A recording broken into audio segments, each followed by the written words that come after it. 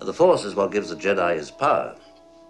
It's an energy field created by all living things. It surrounds us and penetrates us. It binds the galaxy together. Help me, Obi-Wan Kenobi. You're my only hope. What's this?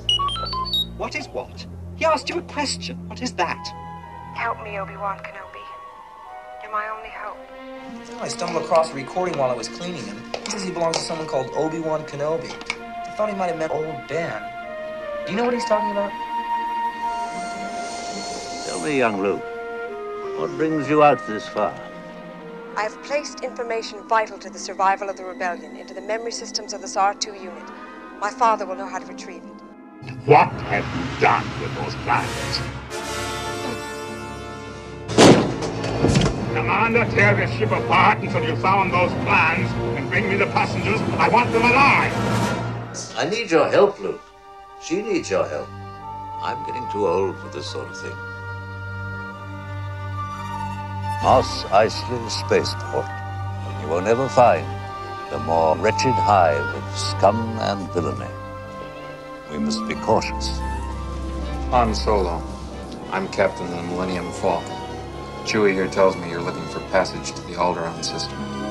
What's the cargo? Only passengers. Myself, the boy, two droids, and no questions asked. Rebel Alliance is too well equipped. They're more dangerous than you realize. If the rebels have obtained a complete technical readout of the station, it is possible, however unlikely, they might find a weakness and exploit it. The plans you refer to will soon be back in our hands. Stop that ship! Blast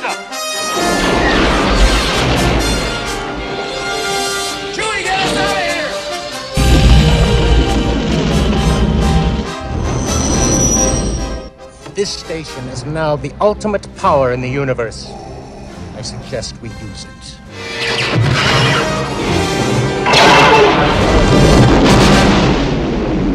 We felt a great disturbance in the Force, as if millions of voices suddenly cried out in terror and were suddenly silenced. He's followed us! No, it's a short-range fighter. Look at him, he's heading for that small moon. That's no moon.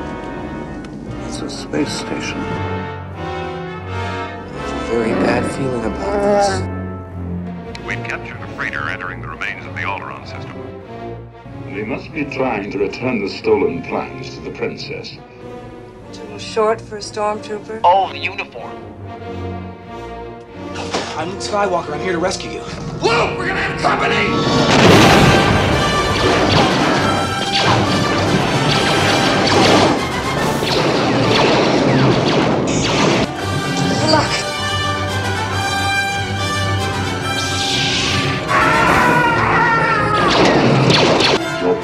Weak, old man. You can't win, Darth. This will be a day long remembered. You will soon see the end of the rebellion.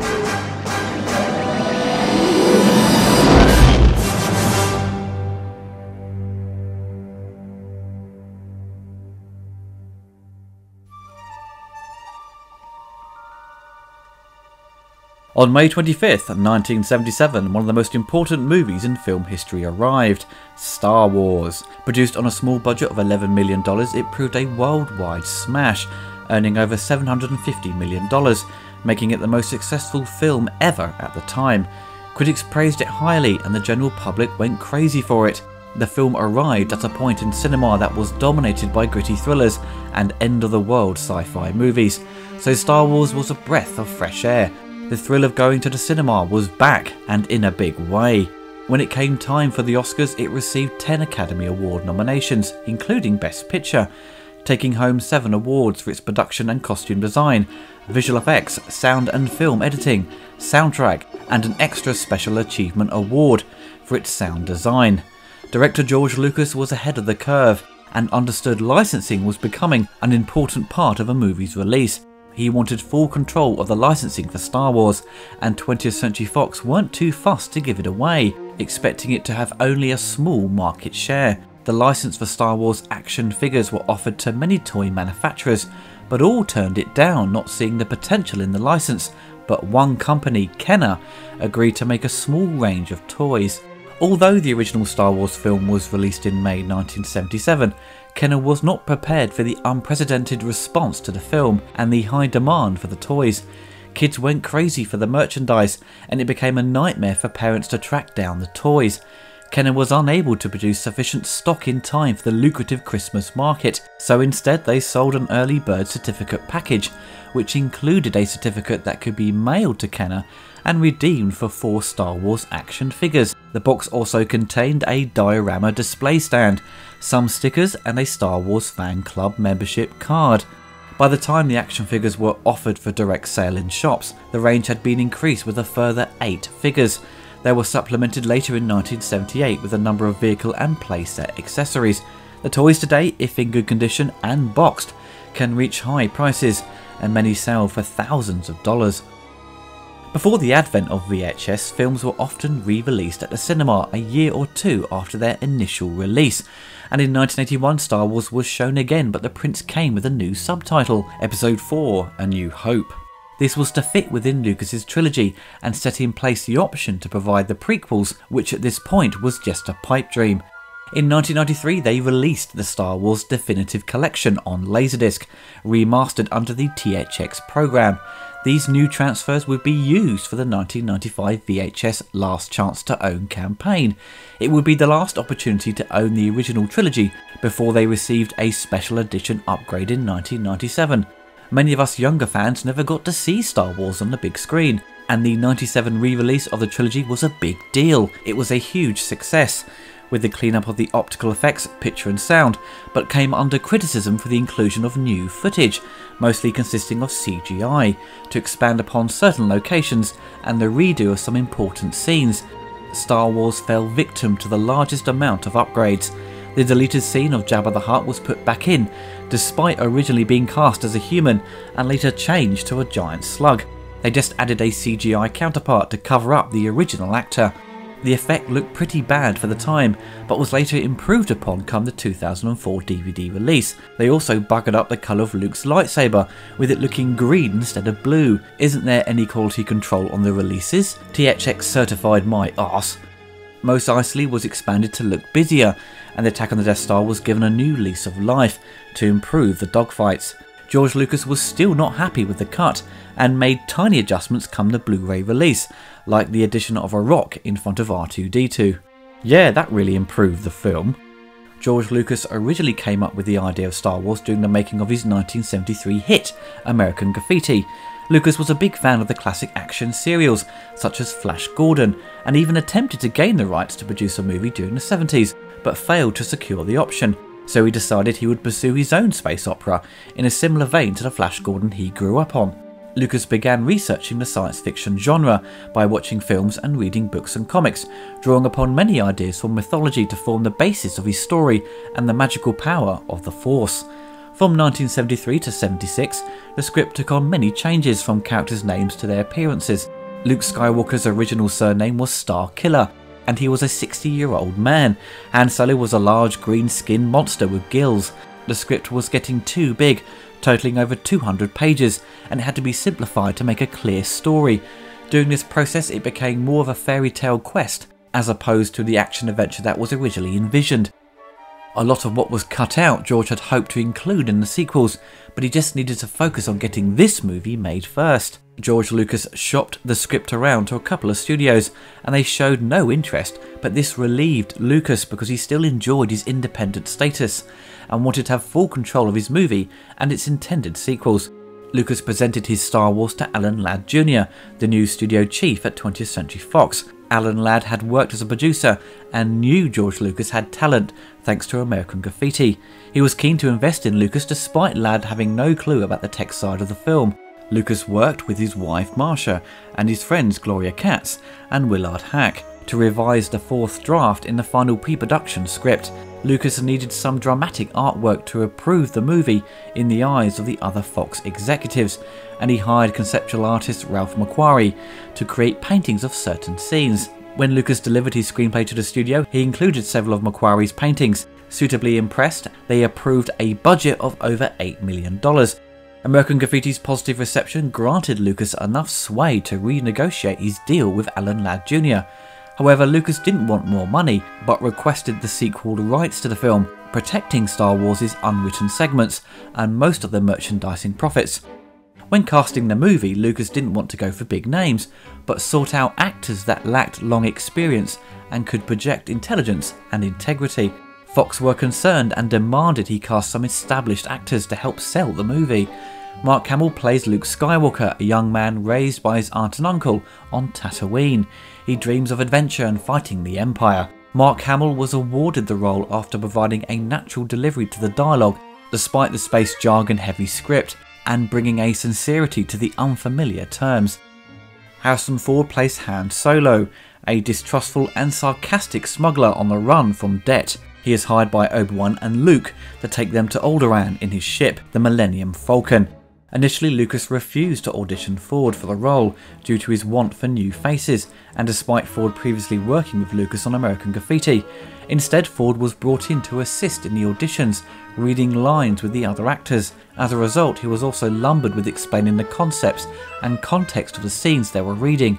Lucas was eventually won over by Ford's portrayal and cast him instead of Kurt Russell. Carrie Fisher plays Princess Leia, a member of the Imperial Senate and leader of the Rebel Alliance. Numerous and various young actresses auditioned for the role of Princess Leia, but Fisher was the only one that conveyed an undeniable princess quality. Despite this, she was cast under the condition that she attend what she called a fat farm and lose 10 pounds for the role. Alec Guinness is Obi-Wan or Ben Kenobi, an aging Jedi who fought during the Clone Wars. He takes Luke under his wing and introduces him to the Force. In order to satisfy the studio's desire for an established actor, Lucas cast Guinness to play this important guiding role. Guinness was one of the few cast members who believed that the film would be successful, and instead of a flat fee, he negotiated a royalties deal of 2% of the one fifth gross paid to George Lucas, inevitably making him quite wealthy in later life. Despite his faith in the film, he only agreed to take part on the condition that he would not have to do any publicity to promote the film after the trilogy had finished, Alec wanted to disassociate himself from the role due to the large amount of Star Wars fans contacting him. Anthony Daniels plays C3PO, a protocol droid designed to serve human beings that apparently speaks over 6 million languages. Daniels said he wanted the role after seeing one of Ralph McQuarrie's drawings of the character and was struck by the vulnerability in the robot's face. Initially, Lucas had not intended to use Daniels' voice for C3PO, and instead auditioned nearly 30 well established voice actors. However, according to Daniels, one of these auditionees in fact recommended Daniels' own voice for the droid. Kenny Baker plays R2D2, an astromech droid carrying Princess Leia's secret message for Obi-Wan Kenobi and the Death Star plans. Baker, at 3 feet 8 inches tall, was cast almost immediately after auditioning because Lucas said he was the smallest guy they had seen up until that point. Peter Mayhew plays Chewbacca, Han Solo's sidekick Wookiee and first mate of the Millennium Falcon. Standing at 7 feet 3 inches, Mayhew was cast as Chewbacca after he stood up to greet Lucas, before any real audition. He was in fact considered for both the role of Chewbacca and Darth Vader, but chose the former, desiring to play a hero. Peter Cushing, the star of many Hammer horror movies, plays Grand Moff Tarkin, governor of the Imperial Outland regions and commander of the Death Star. Lucas had thought to cast Cushing as Obi-Wan, though deciding his lean features would best suit Grand Moff Tarkin. David Prowse, who also played supporting roles in Hammer horror movies, and the following year would train Christopher Reeve to bulk up as Superman, plays Darth Vader. Similarly to Daniels, Lucas was reluctant to voice Vader in Prowse's own voice due to his English West Country accent, and had initially intended the role for Orson Welles. However, after determining that Welles' voice was too recognisable, he instead cast a lesser known actor, James Earl Jones. Lucas continued to tweak the script during filming, including adding the death of Obi-Wan, suggested by his wife after realising he served no purpose in the ending of the film. Principal photography got off to a rocky start on March 22, 1976, in the Tunisian desert for the scenes on Tatooine, due to malfunctioning props and electronic breakdowns. Further disruptions were caused when a rare Tunisian rainstorm struck the country.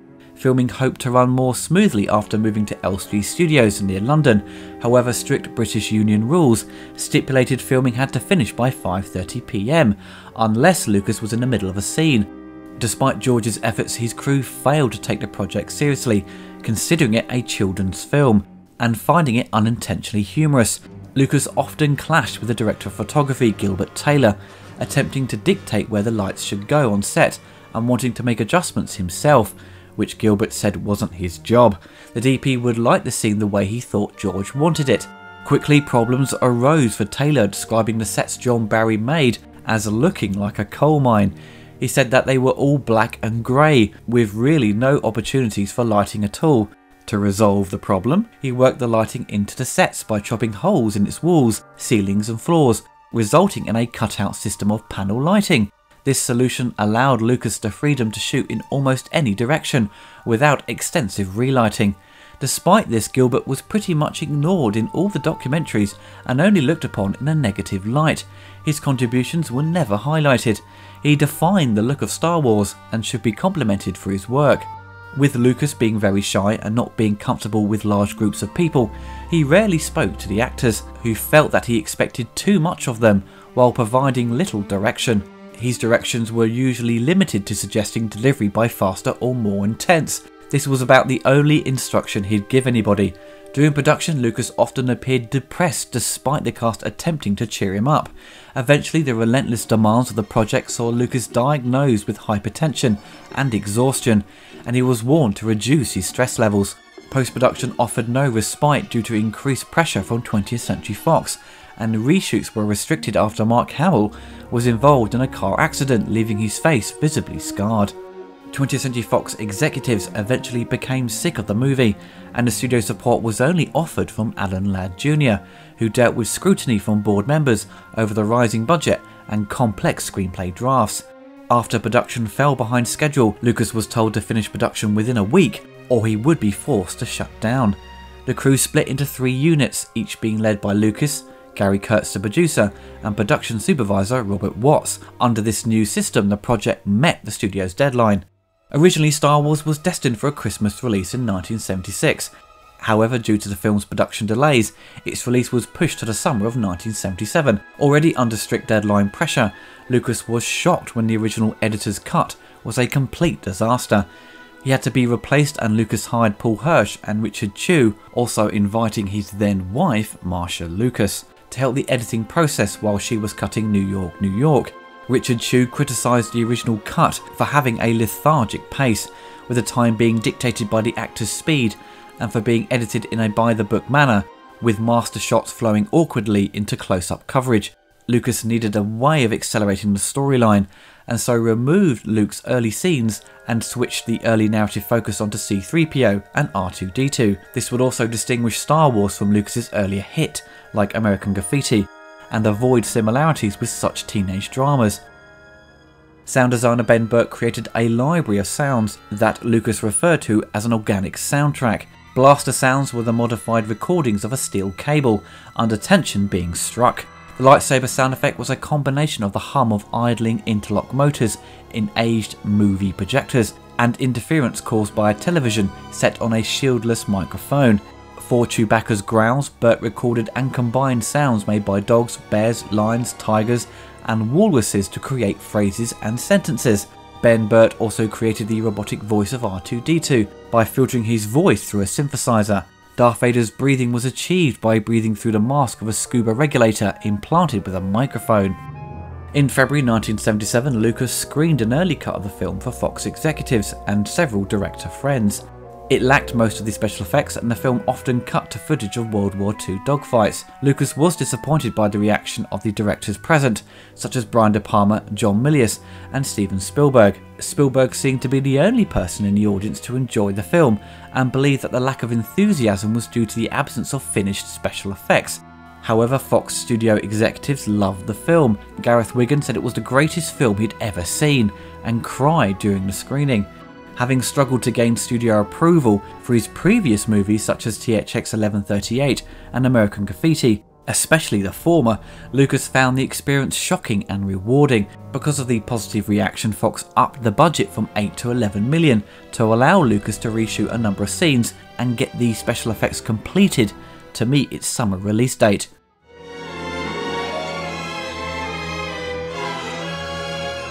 The film opens with a ginormous Star Destroyer chasing after a rebel blockade runner.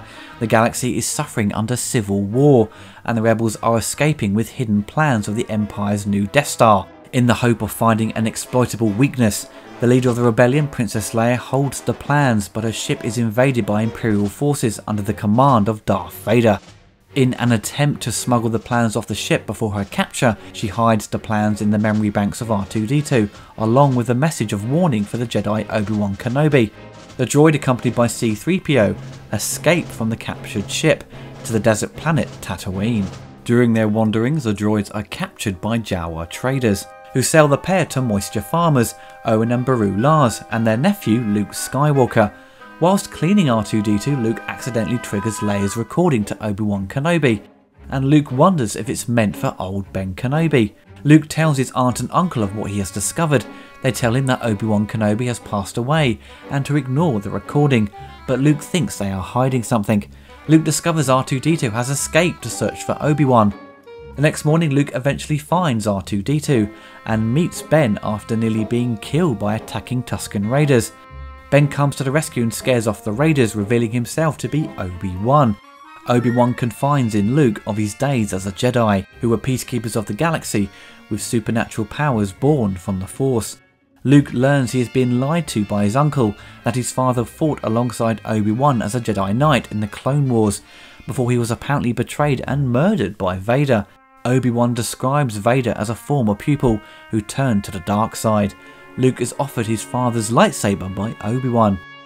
Obi-Wan listens to Leia's message in which she asks him to take the Death Star plans to her father on Alderaan, and Obi-Wan invites Luke to join him and learn the ways of the Force. In a moment of loyalty, Luke declines not wanting to let down his uncle, but after discovering the stormtroopers have followed C-3PO and R2-D2 to Tatooine and have destroyed his home and killed his aunt and uncle, he changes his mind. Obi-Wan and Luke travel to Mos Eisley where Obi-Wan strikes a deal with smuggler Han Solo and his Wookiee Chewbacca to take them to Alderaan on the Millennium Falcon. The Empire has been alerted to the droid's presence and attempt to stop the Millennium Falcon from leaving. They escape and jump into lightspeed and head to Alderaan. When they finally arrive, they discover the planet has been destroyed. In the distance, they notice what appears to be a small moon. But it's not a moon, and is in fact the Death Star. They attempt to turn around, but they are trapped and pulled in by its tractor beam and can't escape.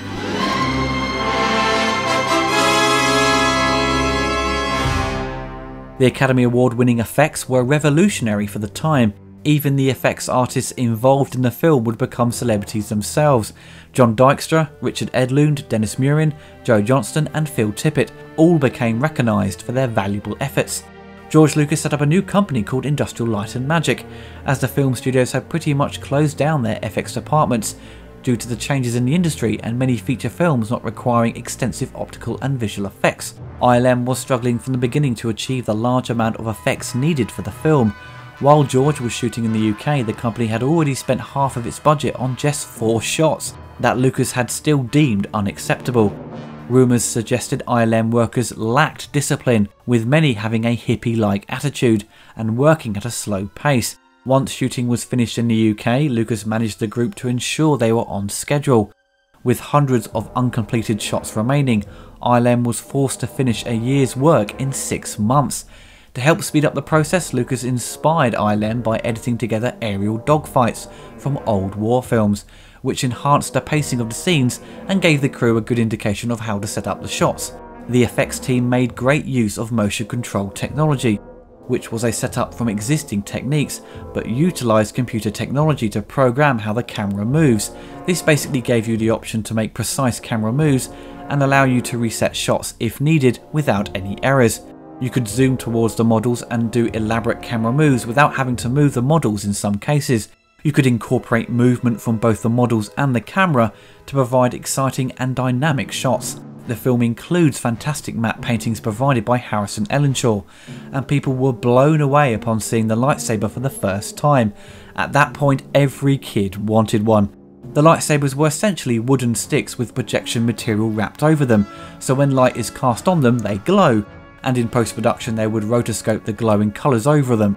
It's a time consuming effect to rotoscope every frame, hence why they didn't use the lightsabers that much during the sequels.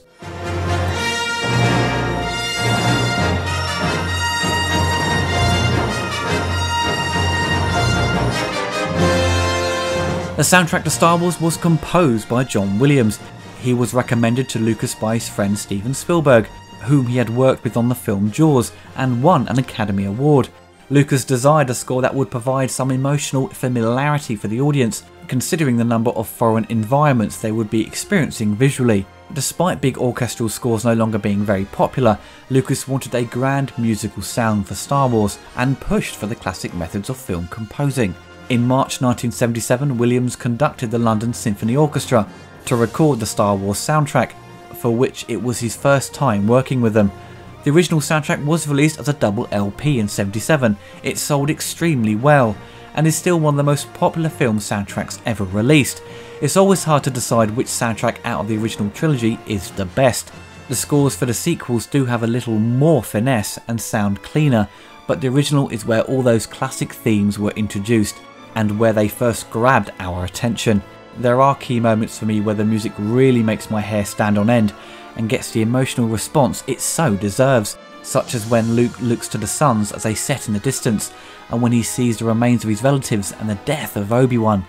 John Williams brought these films to life. I believe without his music they would have never had the success they did. The presence of a good soundtrack is key to a movie, and sadly I think that's a theory that many filmmakers tend to ignore today.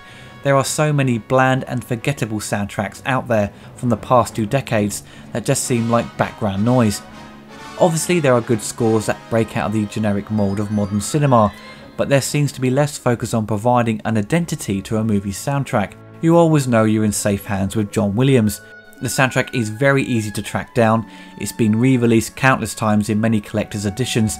I'm sure it's already in most Star Wars and soundtrack collectors' hands. You'd be a fool not to own it. One of the most fondly remembered arcade games was produced by Atari and released in 1983. The Star Wars arcade game is a first person space simulator replicating the attack on the Death Star.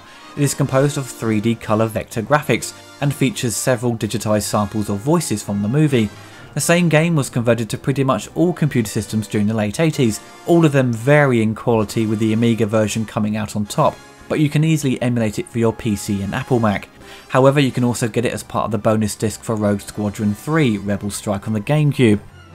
In Japan, 1987, Namco produced a game based on the film for the Nintendo Famicom. It is the only game in the Star Wars franchise that was released exclusively in Japan. The game is a side-scrolling platformer where the player controls Luke Skywalker, but for some reason he has black hair, I think due to the graphical limitations. Luke mostly uses his lightsaber, but he can also use the Force to achieve special moves like floating, speeding, and stopping time. As you rescue characters, they aid you by providing hints to help you progress through the game. You also get the chance to pilot the Millennium Falcon as you fight TIE fighters. The game is very difficult to play and very frustrating, as the player only has 3 lives and 2 continues, and Luke dies upon touching an enemy. Although appearing pretty faithful, the game's story does deviate from the film very often, for example with Darth Vader having apprentices that shapeshift to appear identical, and exploring planets that never appear in the film. A new version was developed by Beam Software that turned up in late 1991 for the NES and was also ported to the Game Boy, Sega Game Gear and Master System. The game is closer to the storyline of A New Hope than the 87 release. Here you play and pilot a land speeder around Tatooine, collecting R2-D2 from the Sandcrawler, finding Obi-Wan Kenobi in a cave and meeting Han Solo in the Mos Eisley bar, all the while fighting stormtroopers, sand people and many other enemies from the movie. Once the team is brought together, the player navigates the Millennium Falcon through an asteroid field to the Death Star, where you are required to destroy the tractor beam and generator, rescue Princess Leia, then destroy the Death Star with the Rebel fighters. The game was a huge improvement on the previous release, and demonstrates some great graphics from the old 8-bit console. In 1992, Super Star Wars arrived on the Super Nintendo and was later re-released on the Virtual Console in 2009 and more recently on the PS3 and 4. It's basically the SNES equivalent of the Star Wars NES game. Super Star Wars is built of mostly run and gun gameplay, although it has other stages such as driving a land speeder or flying an X-Wing. You can also take your pick of multiple playable characters with different abilities. Super Star Wars generally follows the plot of the film, although certain adaptations are made to make a coherent action game. Now this game was super hard, no save options or passwords, but you could put a cheat in to jump to the next level. I tried to play this a number of times, but I always lost my temper with it. However, it does have fantastic graphics and is fun to play if you have the patience. Star Wars returned to the arcades in 1993, produced by Sega. It follows specific events from the trilogy, such as escaping and attacking TIE fighters in an asteroid field, destroying a Superstar Destroyer, and then the final assault run on the Death Star. You can control an X-Wing or a Y-Wing, and you can switch between an interior or exterior angles of your spaceship.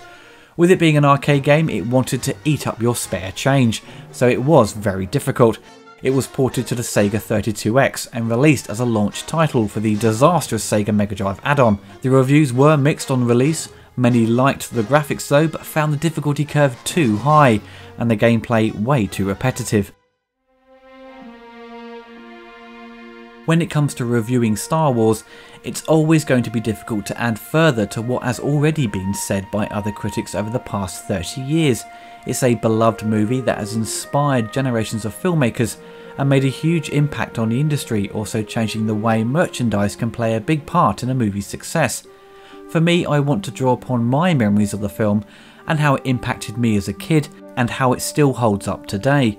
Star Wars was not the first film of the series that I saw, I recall Return of the Jedi being the first to grab my attention with its premiere on UK television around 1988.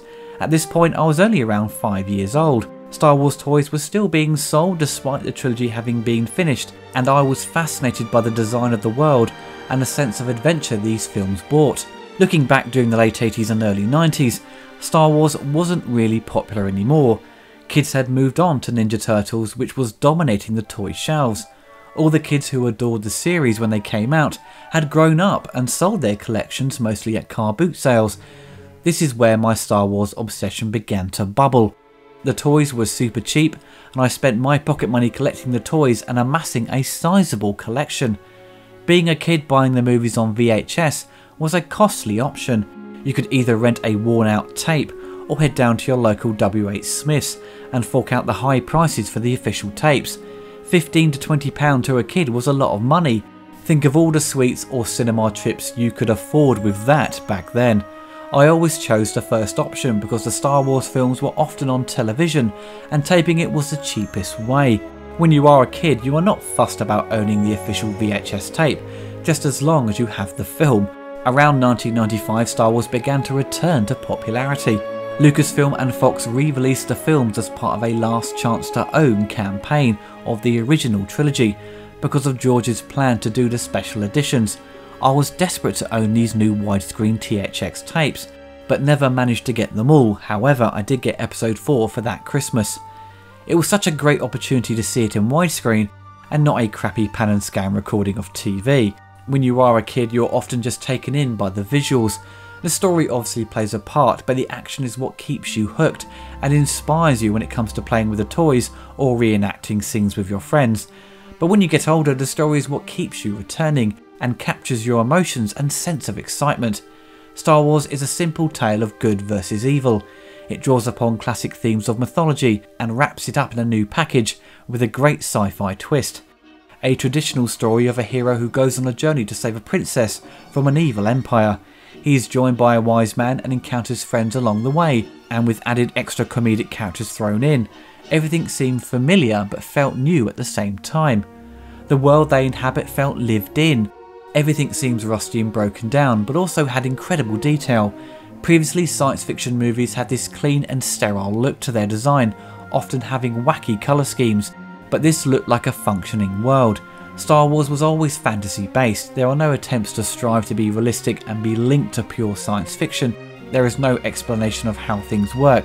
Things just happen at the flick of a switch, and technology is taken for granted, as if lived with for years. The power of the Force itself could have come across as confusing, but with how the dialogue is scripted, it made it easy to understand and grasp what the Force was.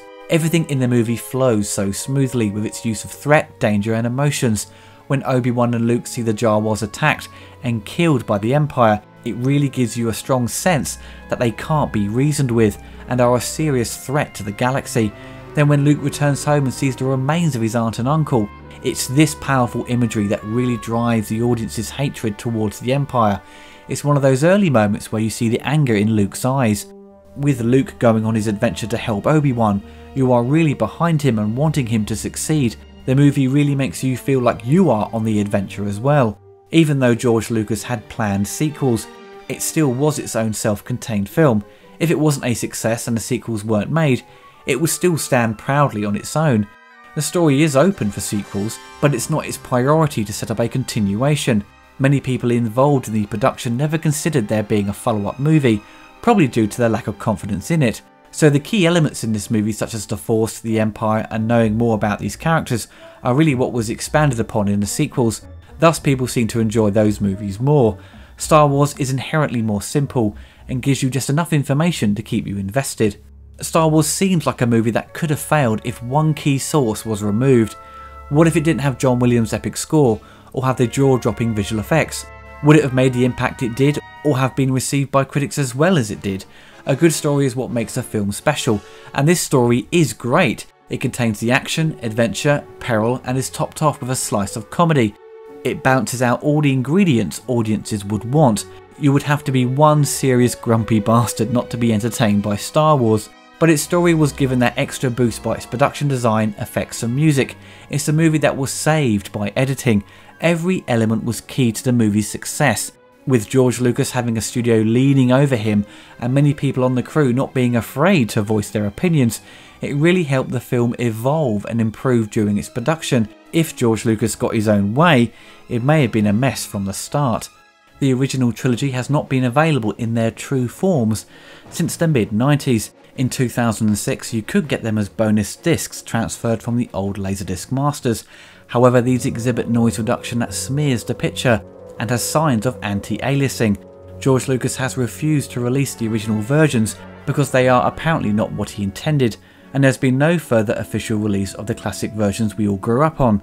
So the dedicated hardcore fans decided to take matters into their own hands and restore the films in HD to how they were originally conceived. They took footage and clips from many sources, including 16 and 35mm prints, TV broadcasts, laserdiscs, and the more current Blu rays for scenes that didn't require adjustments. The CGI has all been removed and the colours have all been colour corrected to match the original 35mm negatives. Many talented individuals contributed to these new cuts, working many hours for free just out of love and to see the movies they grew up on in their original form. These fan edits are referred to as the despecialised versions.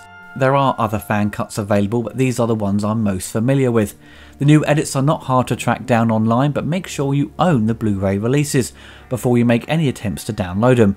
It's only fair. But these versions are absolutely fantastic, and it's the only way to see them in their true original form. In its original theatrical form, the film is by no means polished. Its low budget is very much apparent, with wobbly sets, visual effects that were too ambitious for the time, especially the land speeder with its obvious Vaseline smudged on the lens.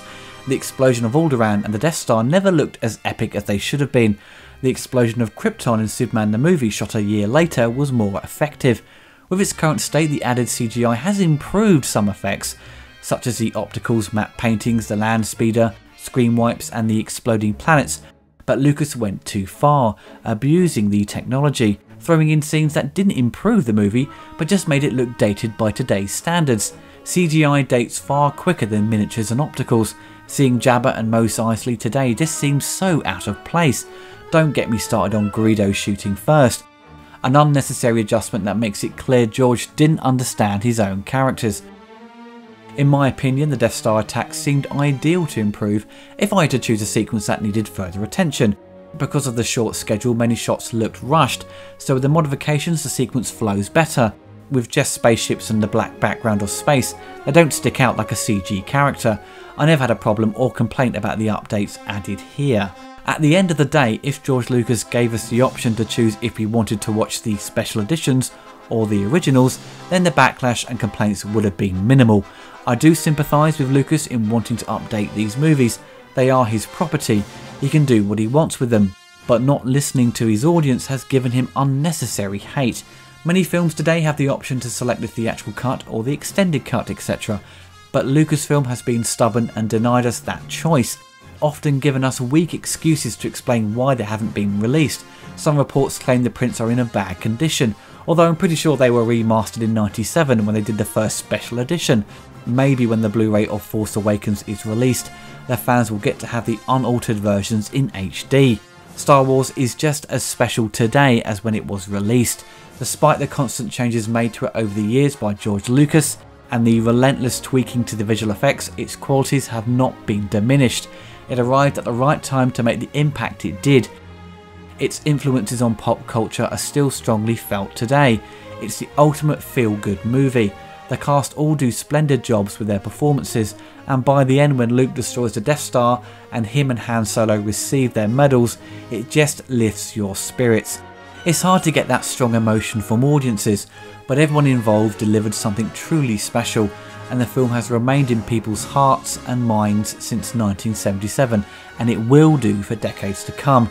It's a timeless movie that will never be forgotten for its achievements and the impact it made on all of us. I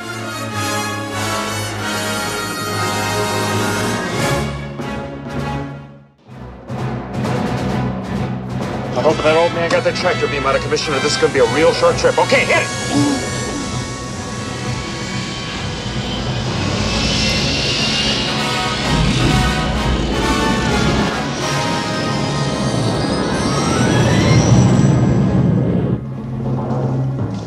Are they away? They've just made the jump into hyperspace. You're sure the homing beacon is secure aboard their ship? They're taking an awful risk, Vader. This had better work. Not a bad bit of rescuing, huh? You know, sometimes I amaze even myself. That doesn't sound too hard. They let us go. It's the only explanation for the ease of our escape. Easy? You call that easy? They're tracking us. Not this ship, sister. At least the information in R2 is still intact. What's so important? What's he carrying? The technical readouts of that battle station. I only hope that when the data's analyzed, a weakness can be found. The battle station is heavily shielded and carries a firepower greater than half the Starfleet. Its defenses are designed around a direct, large-scale assault. A small, one-man fighter should be able to penetrate the outer defense. So, you got your reward and you're just leaving then? That's right, yeah. Besides, attacking that battle station ain't my idea of courage. It's more like suicide. They're in position. I'm gonna cut across the axis and try and draw their fire.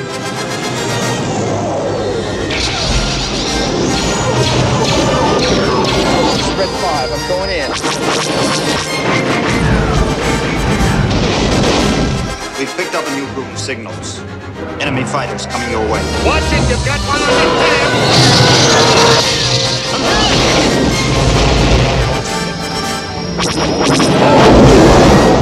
Several fighters have broken off from the main group. Come with me.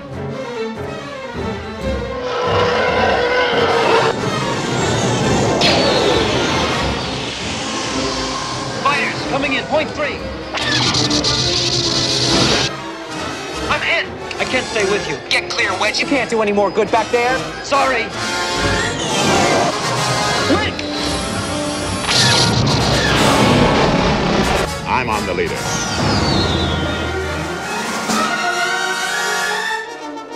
Use the Force, Luke. The Force is strong with this one. Rebel base in range. You may fire when ready. I have you now. What? Look out! You're all clear, kid. Now let's blow this thing and go home.